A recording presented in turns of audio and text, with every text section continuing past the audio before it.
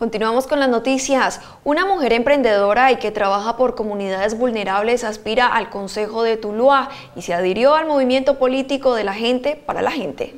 El trabajo con comunidades de los barrios San Pedro Claver y la Santa Cruz son la carta de presentación de Jessica Ponce como candidata al Consejo, quien se adhirió además al candidato a la alcaldía de Tuluá, John Jairo Gómez Aguirre.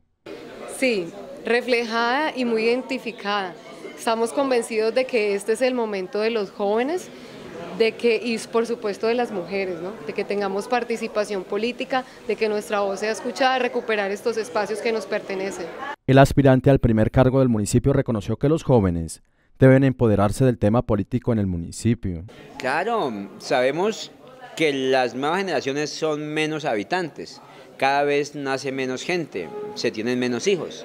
Por ello, esta generación como Jessica, que hoy está arribando a su edad adulta, debe empezar a ocupar los espacios que ya la generación mía va a ir dejando por naturaleza propia, porque ya vamos cumpliendo un ciclo. Entonces, cuando uno los ve empoderados, con esa buena intención, con ese buen corazón, con ese respeto por el municipio, es magnífico hacer equipo con ellos y permitir aportar un granito de arena en ello.